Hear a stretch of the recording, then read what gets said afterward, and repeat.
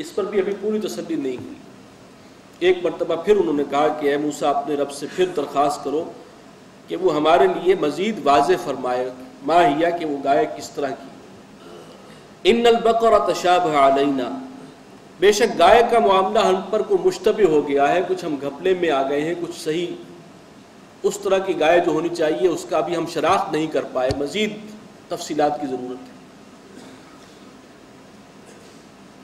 वन्ना इनशा महतदून और अगर अल्लाह ने चाहा तो हम सही गाय तक पहुँच जाएँगे, यानी राह हिदायत पर आ जाएँगे, असल गाय तक पहुँच जाएँगे। ज़रा वजाहत थोड़ी सी और हमें दरकार है, वरना हमारी नीयत में कोई खोट नहीं कौल इन्नहू यकूल बकरतुल्लाजलून तुसीरुल वला तस्किर हर्स। तो हज़रत मूसा ने कहा कि अल्लाह ताला ये फरमाता है कि वो गाय ऐसी हो कि न तो उससे मेहनत और ख़िदमत ली जाती हो कि उसे ज़मीन में जोता गया हो और न ही उससे खेती को शराब किया जाता हो। यानी उसको जोता ना गया हो हल में और खेती को शराब करने के लिए उससे मेहनत ना ली जाती हो। अब हो क्या रहा है? जितने वो सवाल कर रहे हैं और गाय की स्पेसिफिकेशंस मालूम कर रहे हैं, उतना ही वो महदूद करते जा रहे हैं अपने उस टारगेट को। उतना ही ज़्यादा अपने आप को मुश्किल में डाल रहे हैं। पहला हुक्म आया था, कोई सी गाय वो पकड़ते, ज़िबा कर देते, अल्लाह का हुक्म पूरा हो गया था।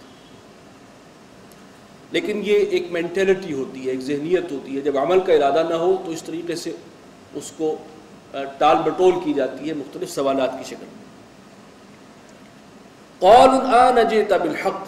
अब जब कोई सवाल बाकी नहीं रह गया तो उन्होंने कहा कि अब तुमने वाज बात की है, अब सही बात जो है वो लेकर आए हो।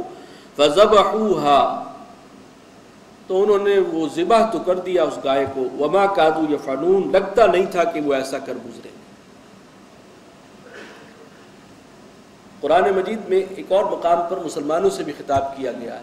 बल्कि ये बात आगे आएगी कि तुम भी उस तरह के सवाल न करना अपने पैगंबर से, जैसे मूसा के साथी जो है, वो सवाल करते थे। इस तरह खुद अपने लिए तंगी और मुश्किल पैदा करो। लेकिन जिनके अंदर वाकई फैलियत हो और जो अमल करना चाहते हो, वो फिर सवाल नहीं करते, वो फिर अमल करते। और जो टालना चाहें, उनके लिए सवाल दर सवाल जो है, वो ये अमल सिलसिला जारी रहता है। वह इस कतल तुम नफसन फद्दारा तुम फीहा। और जब तुमने कत्ल किया था एक जान को, और फिर तुम एक दूसरे पर उसका इल्ज़ाम धरने लगे, यानी असल कातिल का सुराग नहीं मिल रहा था। वल्लाह मुखरिजुम माकुन तुम तक तुमून और अल्लाह ताला ज़ाहिर करने वाला था उस चीज़ को जो तुम छुपा रहे थे। यानी कुछ लोगों को मालूम भी था, लेकिन वो पर्दा डाल रहे हैं, कातिल को जो है उसको छुपा रहे फ़कुल न तरीबू भी बाजिया तो हमने हुक्म दिया कि उस पर, उस मुर्दे पर, उस मकतूल पर ज़रब लगाओ, इसके गाय के एक टुकड़े के साथ। गजाल का युहमता इसी तरीके से अल्लाह ताला ज़िंदा करेगा मुर्दों को। वह युरीकुम आयाती ही लाकुम ताकिलून, और वो तुम्हें अपनी आयात और कुदरत के नमूने दिखाता है। ताकि तुम अकल से काम लो गौर फ़िक्र कर सको। सुब कसत कलूबकुम मिम्बादिक और फिर तुम्हारे दिल सख्त होते चले गए इसके बाद। यानी इतनी निशानियाँ देखने के बाद, अल्लाह के मौजाद देखने के बाद भी, जब तुम्हारी रविश यही रही, हर हुक्म में टाल मटोल, हर वादे को तोड़ना तो फिर आहिस्ता आहिस्ता दिल जो है वो सख्त होते चले गए। वहिया कल हिजारत या वशद कसवा। और वो हो गए पत्थरों की मानंद बल्कि पत्थरों से भी ज़्यादा सख्त तर वइन मिन हिजारत लमा यतफ़जरमिनहार पत्थरों में से ऐसे भी हैं कि जो, जिनसे नहरें और चश्मे जारी हो जाते हैं। वइन मिनहा दमा यशक फ़यखरुजमिनमा और उन पत्थरों में ऐसे भी हैं कि जो फट जाते हैं और उनसे पानी बह निकलता है। वइन मिनहा दमा यह तो मिन खशियत और उनमें वो भी पत्थर हैं कि जो अल्लाह की हैबत और खौफ से गिर पड़ते हैं। लेकिन इंसान का दिल जब सख्त होता है तो सख्ती और शकावत में पत्थरों को भी पीछे छोड़ जाता है। यहाँ सिर्फ़ एक वजाहत में कर दूँ कि सारी बनी इसराइल कौम का ये हाल नहीं था। उनमें लोग थे, सरकश ज़्यादा थे, लेकिन उनमें नेकोकार भी थे, अच्छे भी थे, अल्लाह के वफादार भी थे। ये नहीं है कि पूरी की पूरी कौम जो है उसकी ये रविश हो गई थी। वरना यह कि उनके यहाँ ये सिलसिला जो है नबूत का जारी रहा, वो अल्लाह के नुमाइंदा उम्मत रहे, ये सारे अल्लाह के इनाम उन पर होते रहे। लेकिन बाहर कैफ, अगर कौम के एक तबके ने भी यह रविश इख्तियार की है तो फिर उसके हवाले से जो है वो आगे अगली उम्मत को मुतनबे भी किया जा रहा है और कौमी जराइम में बहरहाल वो चीज़ शुमार होगी। अफ़तमाऊन ए मुसलमानों, क्या तुम तो रखते हो कि ये तुम्हारी बात मान लेंगे? जिनका हाल ये रहा बनी इसराइलियों का, क्या तुम समझते हो कि वो फ़ौरन ईमान ले आएँगे मोहम्मद रसूलुल्लाह सल्लल्लाहु अलैहि वसल्लम पर? वक़द का न फ़रीक़ मिनहुम, जबकि हाल ये है कि उनमें से एक तबका वो भी था यसमाउन कलाम अल्लाह, जो अल्लाह के कलाम को सुनता था। सुम्म युहर्रिफूनहु मिन बाद मा अक़लू, और फिर उसमें तहरीफ कर देता था उसको समझ चुकने के बाद। उलमाए यहूद का ये भी किरदार रहा है, उलमाए सू का। अल्लाह की किताब को सुना है, पढ़ा है, समझा है और फिर उसमें तहरीफ कर रहे हैं। वहम यानमून और ये सब कुछ जानते बूझते होता था। वैज़ा नकुल लजीन आमन कौलू आमन्ना। यानी इनकी डिटाई और दीदा दलेरी तो ये है कि अल्लाह की किताब में तहरीफ करते हैं। पता भी है अल्लाह की किताब है, अल्लाह का हुक्म है और उसके बावजूद जो है इस गुस्ताखी का मुजाहरा करते हैं तो तुम इनके बारे में किसी खुशफहमी का शिकार ना होना। वैज़ा नकुल लजीन आमन कौलू आमन्ना और इन यहूदियों का मामला ये है कि जब मिलते हैं मुसलमानों से तो कहते हैं कि हम भी मुसलमान हैं। ये दो एतबार से था कि आखिर हम भी तो अल्लाह को मानते हैं, आखिरत को मानते हैं, सबका किताबों को मानते हैं तमाम सबका रसूलों को मानते हैं। एक एक कुरान को नहीं माना या मोहम्मद सल्लल्लाहु अलैहि वसल्लम को नहीं माना तो बहरहाल मुसलमान तो हम हैं ना।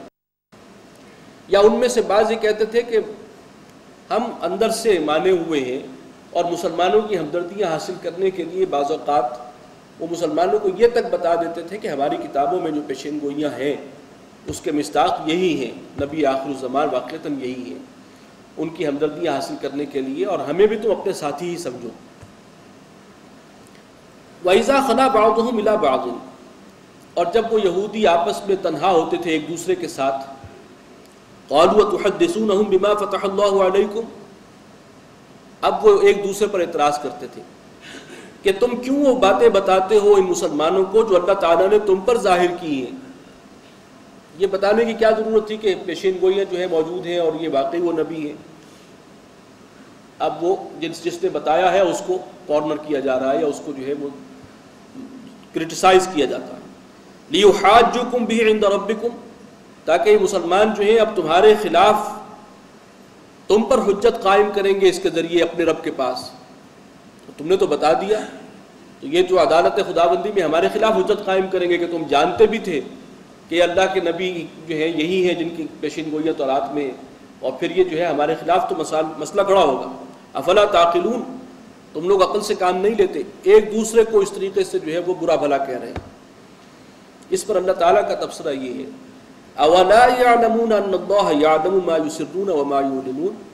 क्या वो ये नहीं जानते कि अल्लाह जानता है जो कुछ वो छुपाते हैं और जो ज़ाहिर करते हैं? इससे डर रहे हैं कि आज मुसलमानों के पास ये दलील आ गई तो वो क़यामत के दिन हमारे खिलाफ न ले आए। जबकि अल्लाह को खूब मालूम है, तुम्हें तो पता है ना कि अल्लाह के आखिरी नबी हैं। फिर किस बुनियाद पर इनकार करते हो? अल्लाह तो जानता है। तुम जबान से कहो या दिल में रखो, अल्लाह को तो मालूम है। तो ये है, जब मत मारी जाती है किसी की तो वो इस किस्म की ऊट पटांग हरकतें करता है। अवला क्या वो ये नहीं जानते कि अल्लाह ताला को खूब मालूम है, जो कुछ छुपाते हैं जो ज़ाहिर करते हैं? वमिन उम्मीयून। और इनमें एक बड़ी तादाद अनपढ़ों की भी है। एक तो यहूद हैं और एक आवाम है। जैसे हमारे यहाँ भी है अवामनास